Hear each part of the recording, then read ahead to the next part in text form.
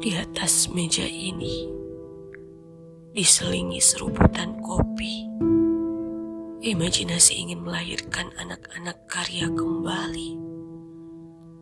Setelah sekian waktu menimang diri di antara lembaran-lembaran ambigu, entah ini ragu atau dungu. Aku bukanlah jiwa yang tertukar alur cerita.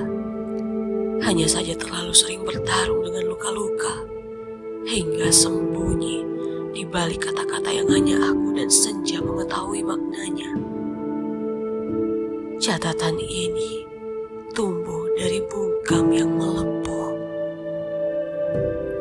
Sekian inci dari hati untuk dinyatakan benar-benar rapuh, terbaring, terbujur kaku di kata baku yang baku hantam direkam waktu tanpa kamu pada aku. Biarlah rindu itu beradu tanpa nokta, hingga semua pulih dari peluh dalam peluk yang pelik, menuju titik yang tak ingin ku ketuk lagi dalam kutuk. Karena rusuk telah rusak.